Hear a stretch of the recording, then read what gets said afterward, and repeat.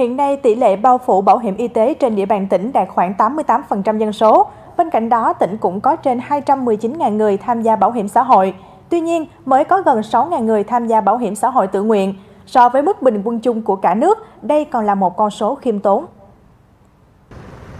Để nâng cao tỷ lệ người dân tham gia bảo hiểm xã hội tự nguyện, bảo hiểm y tế trên địa bàn tỉnh, Ban Thường vụ tỉnh ủy yêu cầu các cấp ủy, tổ chức đảng, chính quyền, mặt trận tổ quốc, các tổ chức chính trị xã hội tiếp tục quán triệt, tuyên truyền các chủ trương nghị quyết của đảng, chính sách, pháp luật của nhà nước và của tỉnh về công tác bảo hiểm xã hội, bảo hiểm y tế đến người dân để tạo sự đồng thuận trong xã hội, nâng cao nhận thức của cán bộ, đảng viên và nhân dân về ý nghĩa, lợi ích, quyền, nghĩa vụ, trách nhiệm và tính nhân văn trong việc tham gia bảo hiểm xã hội tự nguyện, bảo hiểm y tế. Mục tiêu trong năm 2023, tỷ lệ bao phủ bảo hiểm y tế trên địa bàn tỉnh vượt mốc 90%.